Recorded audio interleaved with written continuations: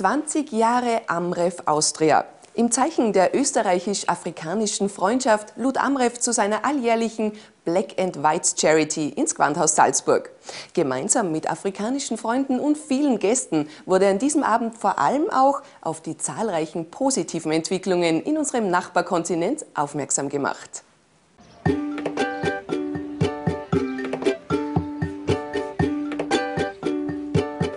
Die Anfänge Amrefs reichen zwar schon zurück bis in die 50er Jahre, doch die Zweigstelle Amref Austria wird heuer stolze 20 Jahre alt.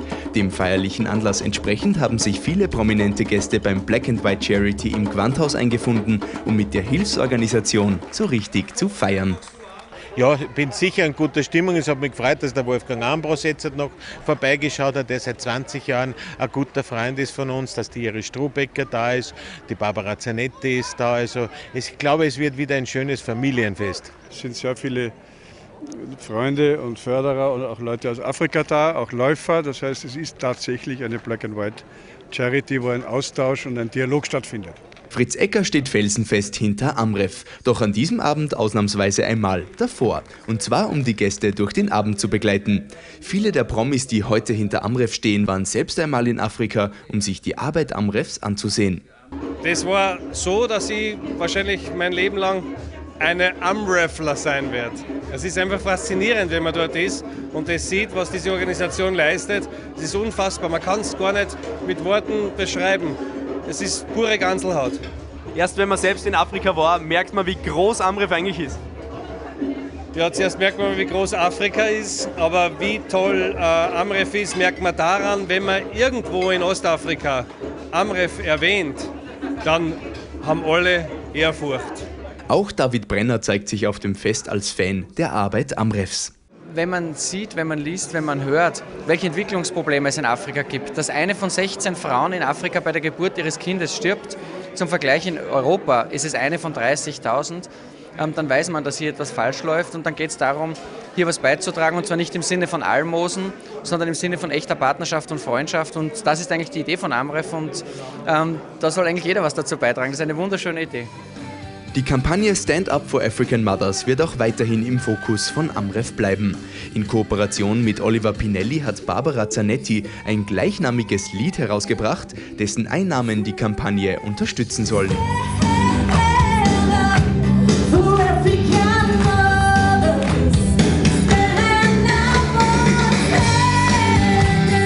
Genau, also inhaltlich geht es eigentlich ums Thema der Kampagne um die Mutter-Kind-Sterblichkeit und die zu senken und einfach hellhörig zu machen und den Menschen einfach zu sagen, das kann es nicht sein in der heutigen Zeit. Neben der musikalischen Darbietung präsentiert auch die gebürtige Ebnerin und in Nigeria lebende Nachwuchsmodeschöpferin Simone Monu Trachtenmode mit afrikanischen Einflüssen. Mit am Laufsteg natürlich Topmodel Iris Rottensteiner, die als Amref-Botschafterin immer noch aktiv ist. Also die Ideen, die blühen gerade furchtbar in meinem Kopf und ich hoffe, dass ich da in nächster Zeit viel äh, ver verwirklichen lässt. Und verraten magst du uns aber noch nichts, oder? Nein, das steht alles noch ein bisschen in die Sterne, aber wird schon werden. Aber Amref und du ihr seid auf jeden Fall weiterhin Partner? Auf alle Fälle, ja. Ich bleibe ganz sicher bei Amref dabei.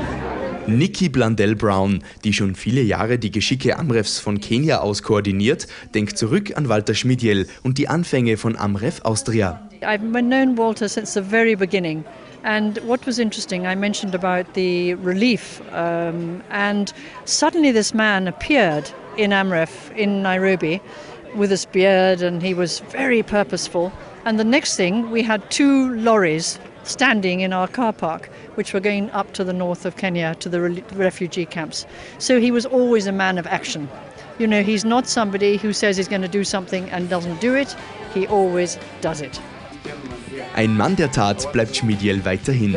Derzeit arbeitet Amref an einem Projekt zur Herstellung von Biltong, also nahrhaftem Trockenfleisch, um das Nahrungsmittelproblem in Afrika zu bekämpfen. Die Kampagne Stand Up for African Mothers wird natürlich ebenso weiter vorangetrieben werden.